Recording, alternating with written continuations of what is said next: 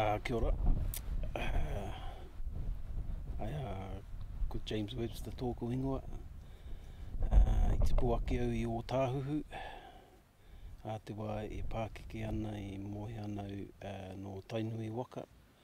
Uh, no te arawa hoki. Uh, me te taha o taku pāpa uh, no te waka avalanche me ki. Uh, Ia, kua tū mai nei uh, ki tēnei wāhi a re kohu, uh, ki tā aro atu ki tēnei kaupapa, ki a whakahiko hiko anō. Uh, i, I tēnei o nā mahi o nā toi o te motu, uh, mo te moriori. Kia ora rā. Yeah, uh, my name's James Webster. Um, I was brought up in Otahuhu in uh, South Auckland and uh, hail from the Tainui, uh, the canoe Tainui Waka and Te Aroa. And uh, on my father's side, uh, we came down on a ship called the Avalanche in uh, 1862. And they have come here to the island to help support the, this kaupapa here, which is to reignite the um, the arts or the art of tree uh, carving, I suppose you could call it. Um, yeah, with the with the Moriori people, feel very privileged to be here, and um, yeah, hope that I can sort of contribute in whatever way I can, you know.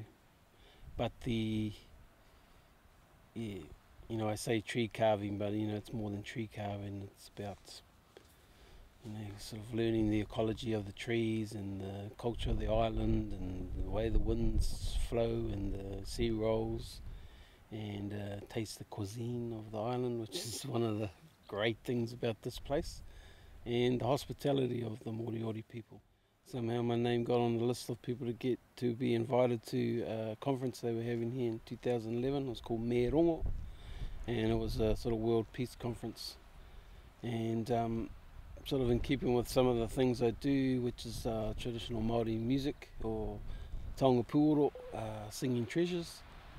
Um, it's quite a peaceful, peaceful pursuit, you could call it. So with that in mind, I uh, brought my skills down here to help and support that, that kaupapa at the time, which was, yeah, was has been quite a highlight of my life as well. So when I was given the opportunity to come back and um, uh, revisit the island and be part of um, what's happening here on the Motu with the Moriori uh, people, uh, I was you know more than delighted to um, so put my hand up again and yeah come and support and be here with all the other awesome people that are here and the knowledge that everybody brings to this uh, kaupapa and those that are um, facilitating it. And my practice as an artist is in uh, sort of taonga uh, carving, and um, now uh, the art of karitao, which is Maori puppetry.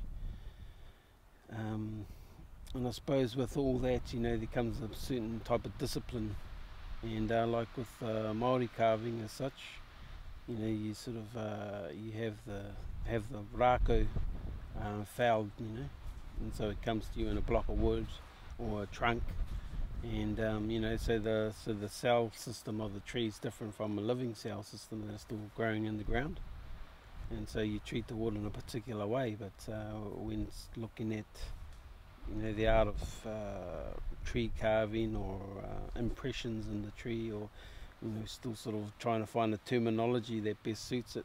Uh, you know, ba- based on the fact that we still don't really understand, you know, fully how it's been done. So it is all trial and error. Um, so you know, I was just sort of saying in one of my mihi that. Uh, you know, I had to sort of like decolonize my thinking about how I approach the wood, you know, because you sort of have the solid piece of wood and you sort of remove the wood and you're left with the um, you know the image or the form and uh, in a phrase or a saying we say you know rui a taitia ko tai anake you know remove the sapwood so the heartwood uh, is left. Like I say you know like reconstruct my thinking around you know how this might be done you know, based on all the information and the talks and things that that that have been presented at the hui. So yeah, that's been a yeah, it's been a little task, I suppose you could say. Oh, one of the local people mentioned it the other night. You know, there's two things to run in a good hui, and that's you know a safe environment.